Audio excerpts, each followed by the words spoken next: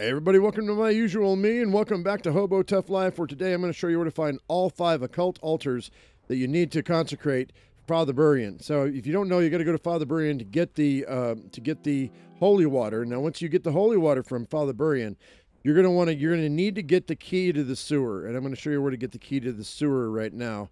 So we're going to go I'm actually going to take a shortcut through the fort. You can actually if if you can't get through the fort, let me show you where the fort is right here. This is where we're at right now. Um, we're gonna have to go to Ziskov. Um, actually, no, I won't go through. I, will go around. That's fine. Um, yeah, I think I've got enough. We can do what we got to do.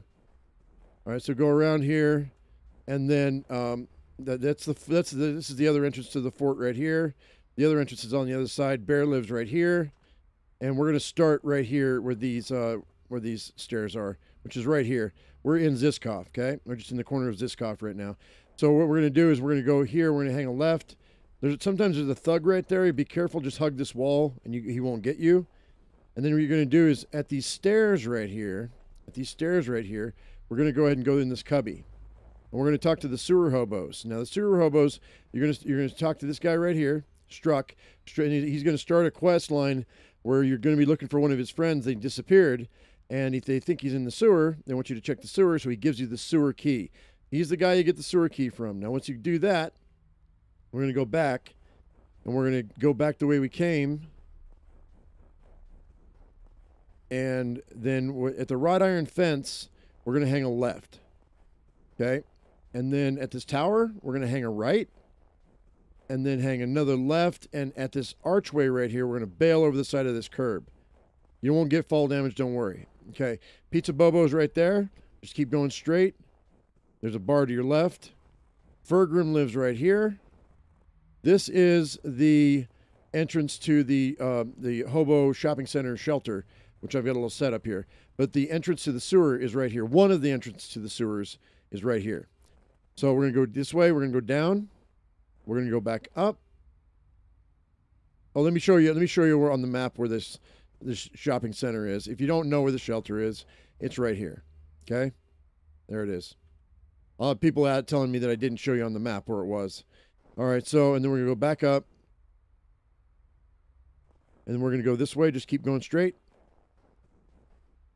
And that light is the burn barrel for the, the hobos we were just at.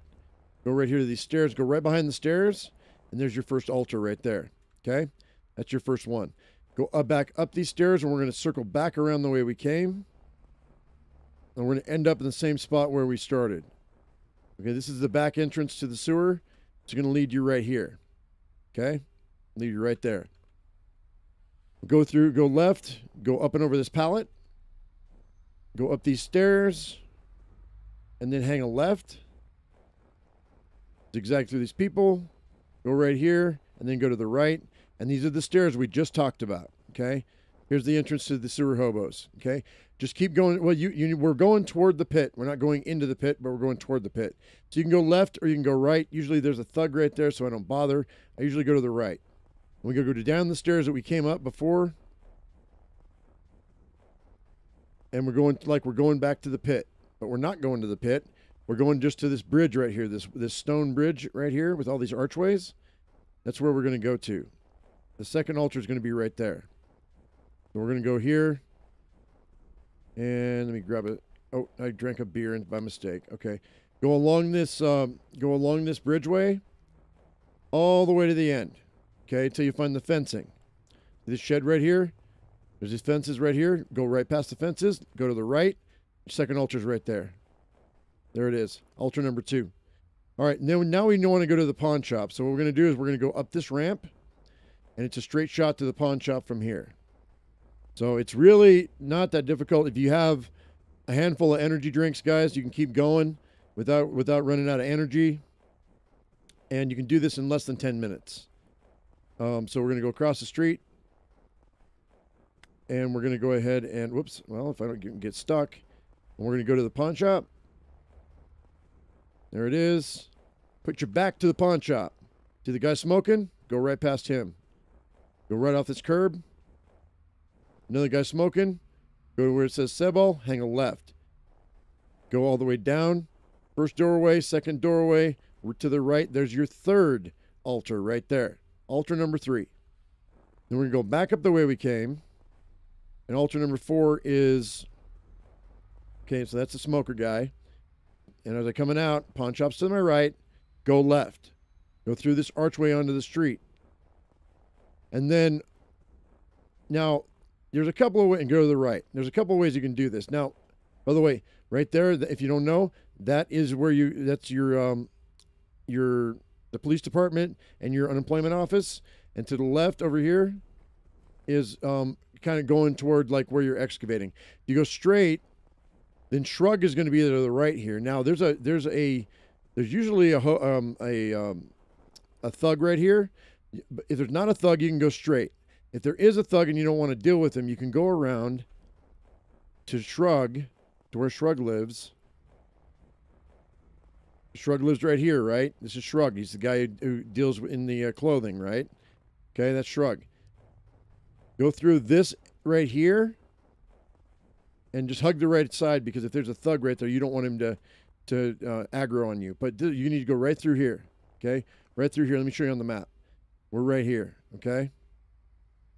So basically between your other shelter area and Shrug is where you want to go down in here, go to the right, go down here, go to the right, and there's your fourth altar right there, okay? Fourth altar. All right. And the fifth altar, ladies and gentlemen, um, is going to be, we go back up the way we came. And now, I don't, doesn't really matter which way you go. I'm going to deal with this thug because I can. But we're right behind that. That's the hotel right there.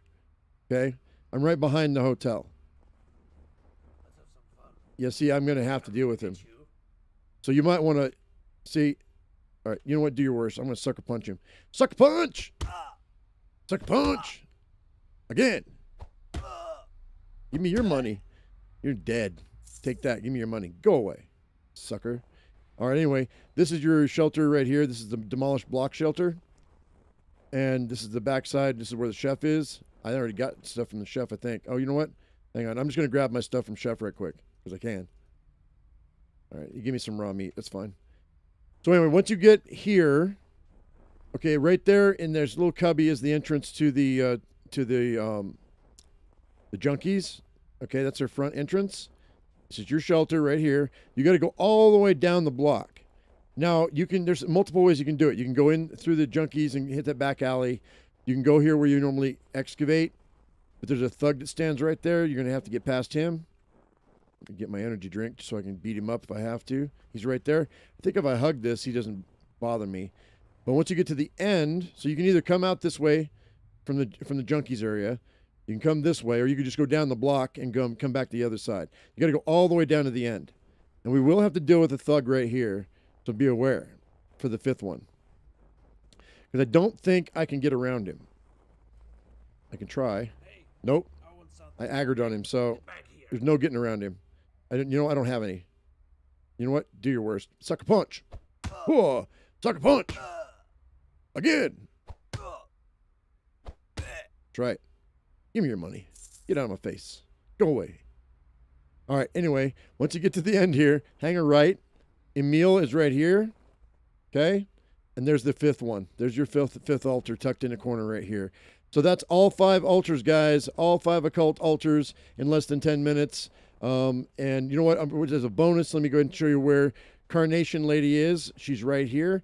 Um, she lives right here. This is Miss Emka. She's the uh, seamstress that if you ha- if you bring her a carnation, she will fix your she'll mend your clothing for you. She also has a lot of uh, some pretty nice um, uh, blueprints. She's got um, remarkable fabric, which I already bought. She has strange fabric and she has better poncho.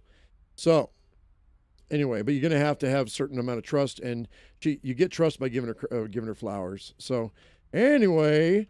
That's all five altars, guys. Hopefully that helped you out. If it did, give me a thumbs up. If you haven't subscribed, please do that right now. As I always say, I am my usual me, you be your usual you, and we will see you in the next video. Thank you so much for watching, guys. We'll see you later. Bye bye.